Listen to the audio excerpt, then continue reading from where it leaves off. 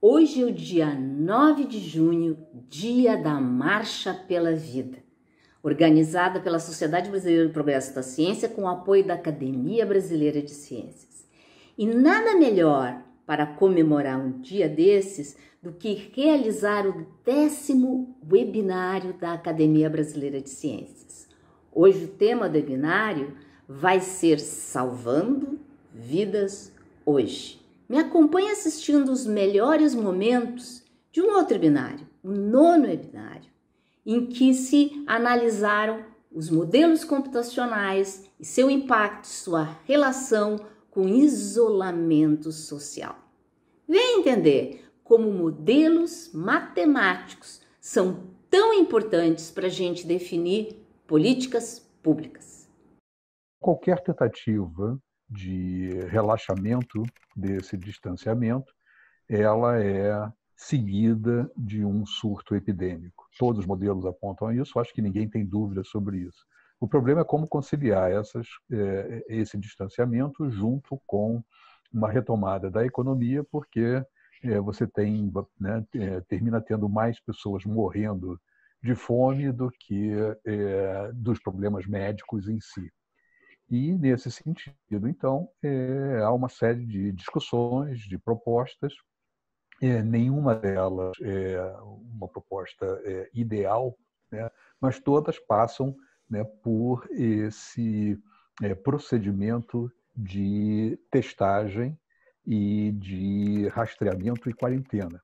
Essas coisas elas podem ser feitas em maior intensidade, menor intensidade, ligando, desligando, é, reduzindo os é, reduzindo os universos né, a certas bolhas, mas é, tudo isso ainda está por ser quantificado. Primeiro, todas as medidas de distanciamento social elas vão afetar todas as, as, as doenças respiratórias. Então, a gente olhar para o agregado de casos de síndrome respiratória, de síndrome respiratória aguda grave, já nos dá essa informação de o que, que está acontecendo. Tá? Antes da gente precisar olhar de fato para confirmados. Nos dados de SRAG, em particular, a gente pode, pode observar um sinal muito claro quando a gente olha a faixa etária desses registros, tá? tanto de casos quanto de óbitos. Por quê? O histórico desse dado é, de, nos diz o quê? Qual é a história que isso, que isso nos conta né, nos anos anteriores? Que é basicamente dominado por casos em crianças pequenas, menores de 4 anos, mais ou menos, ou adultos acima de 60 anos. Esses eram os, dois grandes concentradores de casos e de óbitos de síndrome respiratória aguda grave no país. Tá? Desde meados de março, quando começou a transmissão comunitária no Brasil, mudou completamente o perfil é, etário desses registros, tá? com um volume muito grande de indivíduos de 30 anos para cima. Tá? Justamente quando entrou o novo coronavírus, e a gente, olhando agora que a gente já tem um volume grande de casos confirmados com exame positivo para o Covid, é justamente nessa faixa etária que está majoritariamente os casos de Covid. É também nessa faixa etária que a gente está com um volume gigantesco de é, casos com diagnóstico negativo, né, ou não detectável seria o, o mais correto. Como tem essa assinatura da faixa etária bastante distinta dos demais vírus respiratórios que dominam essa, essa série, isso nos dá um, um, um grau de confiança para dizer, olha, nesse volume que não está com o exame feito ou que não está com o exame, com o resultado do exame não detectável, é sim possível é, que dizer que uma, um percentual considerável deles deve sim estar associado ao novo coronavírus, né? Mas é, como a gente não tem uma conta fechada ainda que possa fazer essa estimativa com a solidez científica necessária, a gente não pode simplesmente dizer que todos aqueles casos são coronavírus. O nosso teste é, um, é um, na verdade, eu vou confessar para vocês o que aconteceu. A Vale do Rio Doce comprou 500 mil testes e disponibilizou para o Ministério, e o Ministério nos deu esse teste. Então, a nossa primeira preocupação, puxa, será que esse teste é bom ou ruim? Porque tem muito teste que tem sido criticado na literatura, né? Mas eu acho que é importante que a crítica dos testes que têm aparecido, teste de anticorpos, em grande parte, é que ele não, não é bom para um paciente em fase aguda. Não, ele leva duas semanas para positivar, né? 10 a 14 dias ou mais para positivar. Então, ele não é um teste diagnóstico. Né? E segunda, a, a, a segunda questão também que se coloca aqui é que nós fizemos, então, uma série de estudos de validação. Em Porto Alegre, nós pegamos 83 pessoas com PCR uh, positivo uh, para... tinham sido diagnosticadas pelo sistema do Estado. Uh, ah, 64 dessas foram positivas do nosso teste. Então, deu uma sensibilidade de mais ou menos 75%. outros estudos mostram até mais alto. Né? E não, nós fizemos uma tipo de uma meta-análise de estudo de validação e chegamos à conclusão que era uma sensibilidade de 84,8% e uma especificidade de 99%. Ah, então, esses são parâmetros que a gente tem usado, inclusive, para corrigir as prevalências. Né? A gente achou que o teste podia não estar tá bom. Então, o que, que a gente fez? A gente, cada município que ia, tentava achar pelo menos uma pessoa que tivesse um diagnóstico de Covid, que o gerente local da pesquisa soubesse que essas notícias se espalham, né? Ia lá e, fazia o teste nessa pessoa e quatro de cada cinco davam positivos também. Então, nosso teste, chegando lá naquele interiorzão, estava funcionando. E o fato de que muitas famílias tinham outros familiares positivos, que também reforça o fato de que o teste estava bom. Então, o teste é perfeito? Não, ele não é.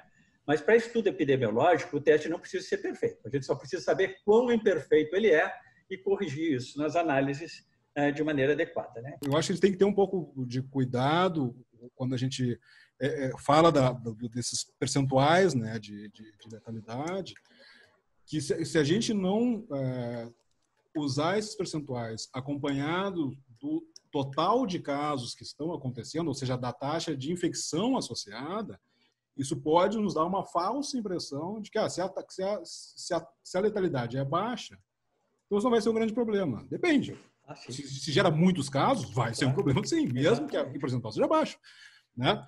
É, agora, isso, é um, isso não é um problema para essa doença em particular. Historicamente, case fatality ratio é algo que a gente só vai saber lá na frente, né, com estudo retrospectivo. É assim que funciona. Infelizmente, esse é o andar da carruagem. Né? Em relação ao R, é, é, o que eu conheço dessas estimativas para o Brasil, elas ficam em torno desses valores de 1,5 países que é, têm uma estrutura muito heterogênea, como a do Brasil e dos Estados Unidos, o, né, principalmente os Estados Unidos, Inglaterra e Canadá, o que se observou até aqui é que você tem esse início né, é, do número de casos, esse início da, da, da, epidemia, e depois isso se estabiliza durante um período de tempo muito longo, num patamar, num platô, e agora começa a cair em países como a Itália e a Espanha, por exemplo, que tomaram medidas muito drásticas num determinado momento, ou até mesmo da China, né? mas principalmente da Itália e da, e da Espanha, que não, não, tomaram, é, não é, tomaram atitudes logo no início, mas o fizeram assim que as pressões sobre o sistema de saúde ficou muito grande, é, observa-se um declínio muito rápido e muito intenso, abaixo de um. É, eu imagino que nós estamos caminhando para uma situação como essa, né, de uma estabilização num nível alto que se prolongará durante muito tempo nesse nível alto. Em boa parte dos municípios, é, como é que é feito esse processo né, da, da, da notificação dos casos de síndrome respiratória aguda grave? Bom, tem uma ficha em papel tá, na unidade de saúde, que é preenchida pelo profissional de saúde, tá? algum profissional de saúde que, que peça licenciamento. Algumas unidades têm uma equipe própria de vigilância que se encarrega desse trabalho, outras são os próprios profissionais de saúde que prestam atendimento, que também tem que preencher essa ficha, que é uma ficha extensa, diga-se de passagem. E que é uma ficha de papel. Tá? E essas fichas vão se acumulando e em algum momento, esse conjunto de fichas, alguém vai ter que sentar na frente do computador com essas fichas e inserir no sistema. Tá? Então, primeiro ponto, nem todas as unidades de saúde possuem prontuário eletrônico. Tá? Então, isso já é um gargalo. É, mesmo as que possuem prontuário eletrônico, o prontuário eletrônico não está vinculado ao CIVEP Gripe. Então, essa, é, é, o fato de ter o prontuário eletrônico poderia ser um facilitador e, e acelerar esse processo de notificação. Infelizmente, como não existe o vínculo de um sistema com o outro, não ocorre. Então, é, e aí, além disso, essas, em diversos municípios, esse processo de digitalização, né, de inserção dessas fichas no sistema informatizado, é centralizada na Secretaria uh, Municipal de Saúde. Ou seja, a, as unidades de saúde têm que enviar essas fichas para a Secretaria, para a Secretaria fazer a inserção no banco de dados. Então, tem essa demora no envio, o demora no preenchimento tá, e o acúmulo dessas fichas. Obviamente, quando a gente está numa, numa, situação aí é, de hospital, de unidades de saúde sobrecarregadas em atendimento, quer dizer, se, se, os profissionais já estão sobrecarregados em oferecer é, atendimento, tem uma outra carga ainda de preenchimento de ficha. Bom, qual é a prioridade? Não é o preenchimento da ficha. A intuição é, leva a gente a acreditar que qualquer pressão no sistema vai matar não só os indivíduos com o vírus, que terão um, um, um atendimento é, pior, como também matará indivíduos por outras causas que não terão acesso é, a, a, a, essa, a, essa assistência, né? porque o sistema está saturado. Eu acho que a gente se encontra nesse momento numa situação de administração dessas, desses danos. A gente não vai conseguir eliminar os danos completamente, mas vai ter que administrar isso de tal forma que se possa é, ir lidando com os problemas aos poucos. Ou seja, você vai ter um fogo ardendo lentamente, né? e esse fogo ardendo lentamente vai poder ser administrado pelo, é, é, pelos serviços de saúde dentro desse processo. Eu acho que esse é digamos, o nosso desafio, encontrar isso. O que, que acontece na pior das hipóteses, né? Que é o que está acontecendo na Amazônia. E muito, muito surpreendente, pelo menos para mim, eu não, não, esperaria que fosse essa magnitude, a prevalência nessas cidades pequenas, relativamente isoladas, né? E que onde a gente esperaria que houvesse menos contágio. Já no Centro-Oeste é completamente diferente. Nós temos nove cidades no Centro-Oeste, a amostra de 250 pessoas em cada cidade, zero casos nas nove. Então, realmente, a dinâmica não é, uma, não é uma epidemia, são várias epidemias ao mesmo tempo. Isso aí é que confunde a cabeça das pessoas. Por isso que ah, o Brasil vai ter tantos casos. Não sei. A Amazônia pode ter muito, o Centro-Oeste pode ter pouco. São várias e várias epidemias.